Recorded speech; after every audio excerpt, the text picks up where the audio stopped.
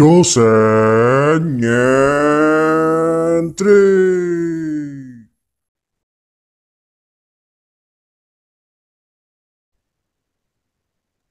Silahkan Bami, boleh dimulai dulu untuk puisinya. Baik, kenalkan saya Milatus Salika. Ini adalah puisi saya. Saya akan membacakan puisi saya yang berjudul Saatnya Berhenti. Hai kamu, masih ingat kamu dengan aku? Salah satu orang yang mungkin berkesan untukmu, atau mungkin itu harapanku. Ah, sudahlah. Melihatmu saat ini mungkin hanya hayalan untukku, tapi tidak untuk dunia mayamu. Kamu sungguh bahagia ya di sana, bahagia dengan orang baru dan sama denganmu. Aku hanyalah rumput, rumput yang rindu akan bulan rumput yang sadar bahwa tidak pantas untuknya untuk merindukan bulan.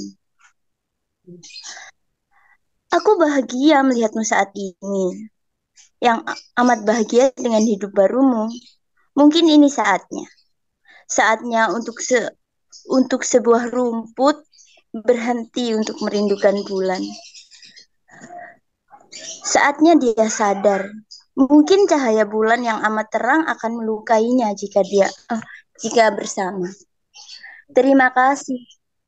Terima kasih telah sudi untuk singgah bersama rumput yang yang kecil ini. Terima kasih.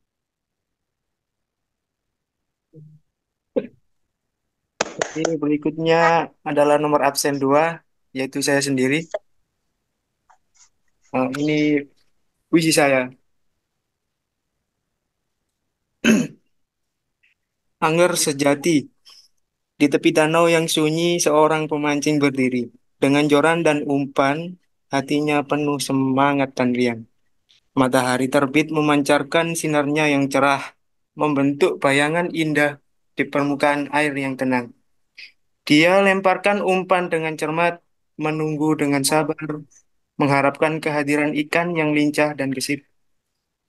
Dalam diamnya, ia merasakan kedamaian yang mendalam, seakan-akan dunia berputar lebih lambat.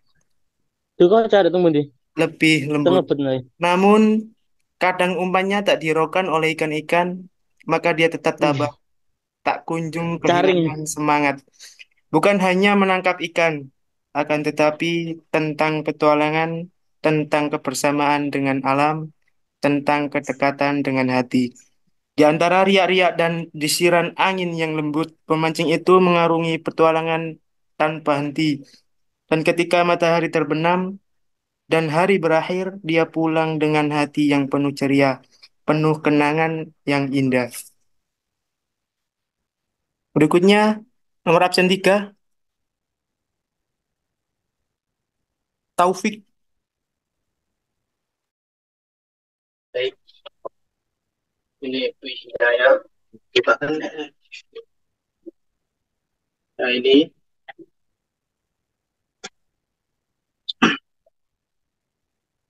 Puisi saya berjudul kembali untuk hidup.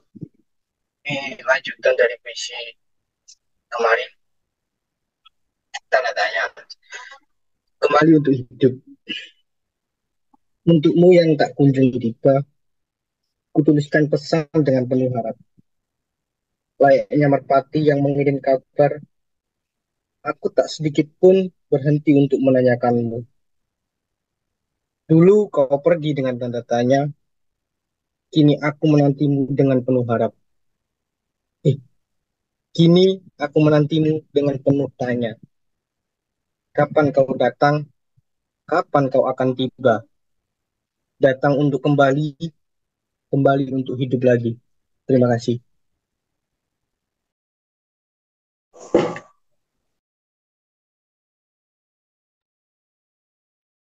Berikutnya ada Wulan. Silahkan Wulan. Baik, perkenalkan nama saya Safety Learning Room. Di sini saya akan membacakan puisi yang berjudul Duka di bulan Oktober. Di bulan Oktober yang kelabu, angin berbisik pilu. Daun-daun berjatuhan dengan perlahan. Langit menggantung muram, membawa kabut kesedihan. Semesta seolah berhenti.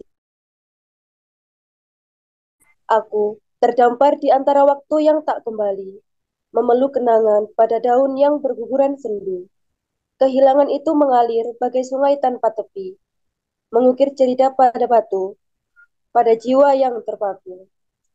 Tawa yang dulu berseru, Kini hanya ada kekosongan di dalam hati. Kini hanya ada sunyi menemani benak yang meradang. Oktober, engkau mengajarkanku tentang apa bekas, tak hanya pada daun yang jatuh tanpa suara. Engkau pergi, menghilangkan warna di hidupku, menjadi cermin yang hanya menampilkan gema kosong.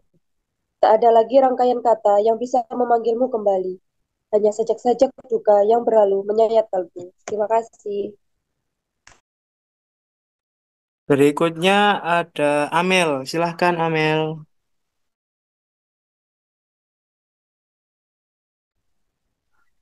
Baik, terima kasih.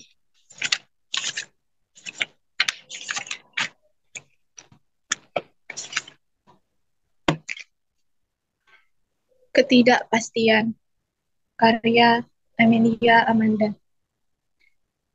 Sesudah pukul satu aku hendak tidur. Tapi mataku tak akur. Orang ngoceh, kambing mengembik.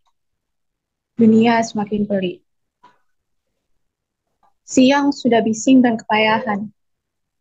Malam juga tak menjanjikan kebisuan. Angan-angan beraroma manis, digerogoti realita yang bengis. Aku hendak teriak penat. Suaraku tercekat.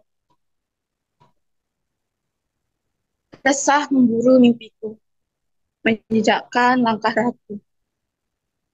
Dan hidup belum apa-apa. Masa yang tersisa hanya di terkata Terima kasih. Uh, berikutnya ada Dania. Silahkan Dania.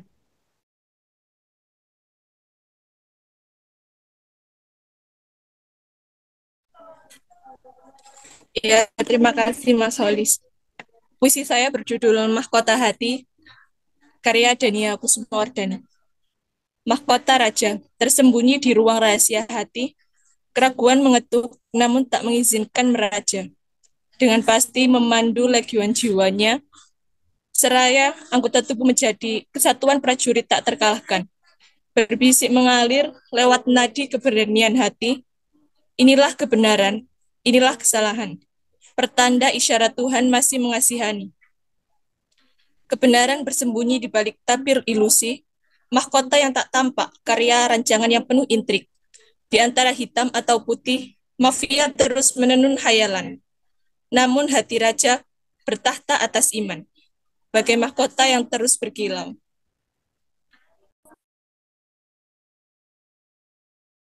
Oke, berikutnya ada Faris. Silahkan Mas Faris.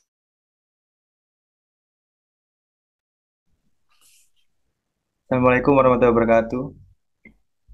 Waalaikumsalam. puisi, puisi saya judulnya Menanti Pagi. Karya Iktana Faris Safakila atau Steven biasanya. Hujan ini seperti biasa, dalam irama tanpa kata.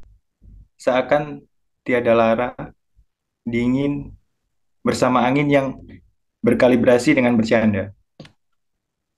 Bintang yang pudar karena mendung, membuat bulan seakan merenung. Dengan pelangi yang meredup, membuat bulan seakan merasa gugup. Keheningan menyelimuti, suara rintik yang semakin menjadi. Ketenangan ini menginginkan malam yang abadi.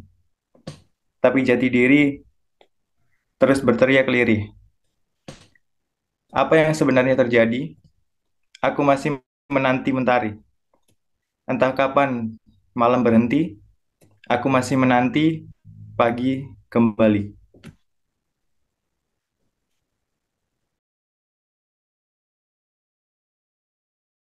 Oke, berikutnya ada Mas Hanif. Silahkan Mas Hanif. Baik, Mentari Pagi, karya MZ Hanif. Di ufuk timur mentari bangkit, mengusik malam yang tengah sirna. Dengan sinarnya yang merona, embun di daun perlahan menyingsing. Menyambut hangatnya sinar pagi, mengusik kembali alam yang tertidur. Mentari pagi, pembawa harapan. Menyemai jiwa yang dengan keindahan, menyelami impian di benak insan. Dalam pelukanmu dunia terbentang, seperti lembaran kanvas yang kosong siap mewarnai langit dan bumi. Terima kasih Mentari Pagi telah menghadirkan keajaiban di setiap hari yang kuharapkan. Terima kasih. Oke, berikutnya ada siapa? Hanum, Mbak Hanum. Silakan Mbak Hanum.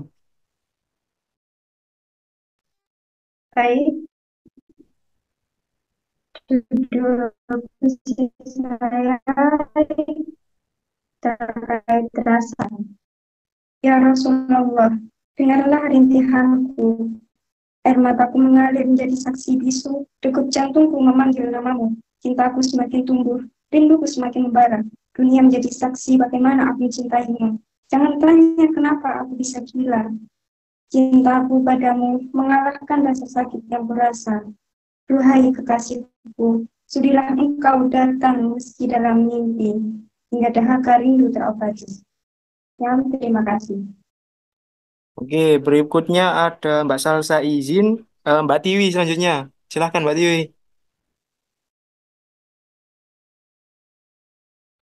Baik, terima kasih.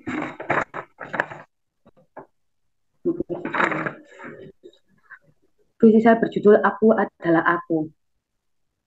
Di dalam keramaian bising dunia, aku menemukan ruang hening dalam diri tempat di mana aku menerima diriku sendiri, dengan segala kelebihan dan kekurangan yang kuhadirkan. Kulitku adalah kanvas yang dulu kuanggap cacat, namun sekarang itu adalah bagian dari kisah hidupku. Aku menerima setiap garis dan bintik di sana. Mereka adalah jejak perjalanan yang tak terlupakan. Hatiku pernah pecah, berkeping-keping di tanah. Namun sekarang itu adalah sumber kekuatan yang tak tergoyahkan. Aku menerima setiap retakannya dengan tabah. Mereka adalah bagian dari kekuatan yang kumiliki. Pikiranku pernah menjadi pusaran yang tak terkendali, namun sekarang itu adalah lautan ketenangan yang tak tergoyahkan. Aku menerima setiap gelombang yang datang dan pergi. Mereka adalah pelajaran yang berharga untuk kupegang. Dalam penerimaan diri, aku menemukan kedamaian, di mana aku tidak lagi mengejar bayangan sempurna, Aku adalah aku dengan semua keunikan dan kompleksitasnya, dan aku menerima diriku sendiri dengan penuh cinta dan kedamaian. Terima kasih. Baik, berikutnya ada Yuafa izin eh, Mbak Dila. Ini terakhir Mbak Dila karena Akmal izin juga. Silahkan Mbak Dila. Baik, Assalamualaikum warahmatullahi wabarakatuh. Di sini saya akan menje eh, menjelaskan membaca puisi saya yang berjudul Jejak Perjalanan. Di balik setiap tikungan jalan, ada cerita yang menggelora, petualangan hidup yang tak terlupakan, seperti riak air di sungai yang mengalir. Terkadang menanjak, terkadang menurun. Ketika kita terus melangkah tanpa henti, mengejar impian di ujung cakrawala, menyongsong fajar yang baru. Dalam setiap langkah kita belajar tentang kehidupan dan arti keberanian. Di balik segala rintangan yang menghadang, kita tetap bertahan mengukir sejarah. Sekian terima kasih. Assalamualaikum. Jangan lupa subscribe.